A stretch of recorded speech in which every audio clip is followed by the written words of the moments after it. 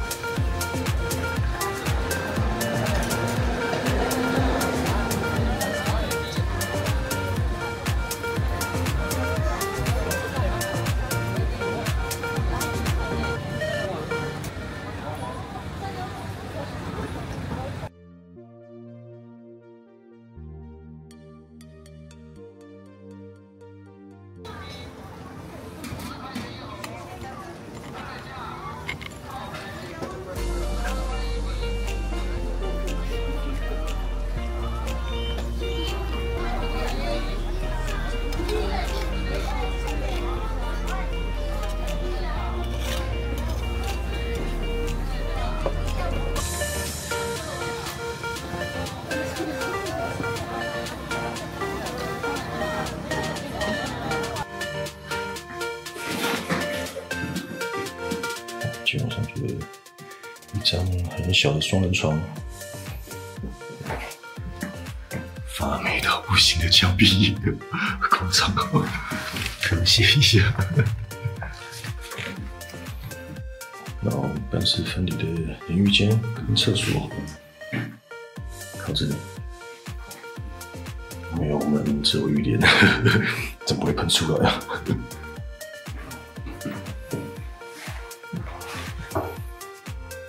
无聊的电话，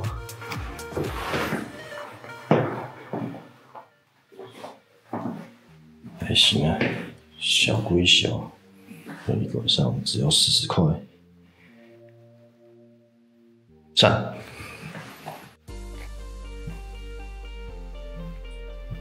看得出来，好像没有很油。昨晚上到成都，然后在机场睡了一晚。今天早上再从成都飞到大理，然后再从大理坐动车到临沧，然后接下来拿到车之后，哎，还可以发到，就马上从临沧开车开开过这边跟马，开了哇四五个小时吧，就本地上面写说开大概要三个小时，然后刚刚。在跟嘛那边的检查站，不知道为什么检查了两个小时，目前碰过最久的。这朋友检查站都是我从哪里过来啊，然后接下来去哪里，然后看一下我资料，登记一下就让我走了。今天这个哇，超仔细，我几月几号到临沧，然后就跟他讲我回台湾过年了，然后他又我说我回台湾之前是几月几号到临昌。靠谁记的？反正问超详细，然后报给上面，然后一来一往，我报什么弄两个小时才让我走，不过还是蛮可惜啊。然后昨天没洗澡，加上昨天我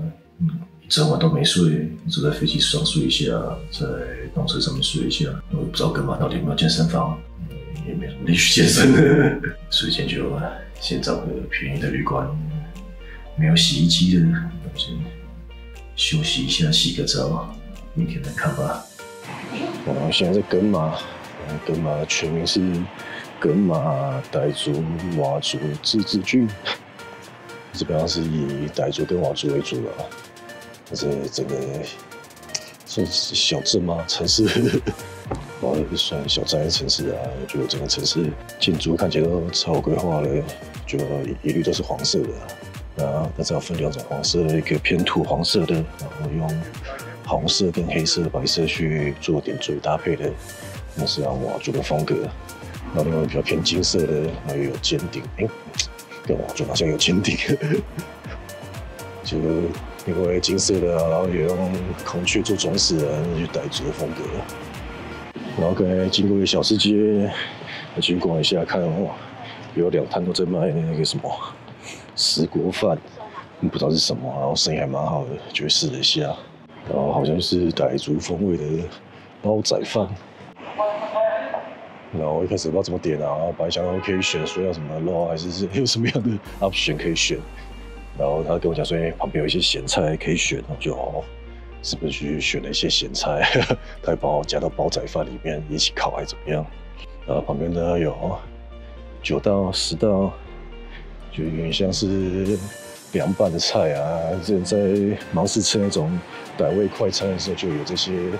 凉拌的高丽菜、小黄瓜，然后不知道什么，有点像面线，就各式各样的那种泡菜、腌菜、凉菜。他也没跟我讲可以挑几样，然后也没说可以怎么挑，然后就过去随便乱挑，哎，看起来想吃的都挑，挑一挑之后想，哎，但是不会帮我加到那个石锅饭里面拌一拌，之后一起烤，就不是，那个就是配菜，啊，感觉有点像广东的那种辣味煲仔饭。但是它上面的叉烧比较没什么味道啊，然后 腊肠换成火腿肠，比较减配版的，呃，可中间加了半颗水煮蛋，少少增加了三克蛋白质。在它下面饭不是全部饭啊，下面有铺马铃薯，所以吃到最后除了边边有饭的锅巴，最下面有土豆锅巴可以吃，呃，有附一碗酸汤，嗯，酸汤蛮够味的，这样吃下来十六块。有点小贵，这能是十二三块，最多要十五块啊！能吃百味快餐可以吃到你死，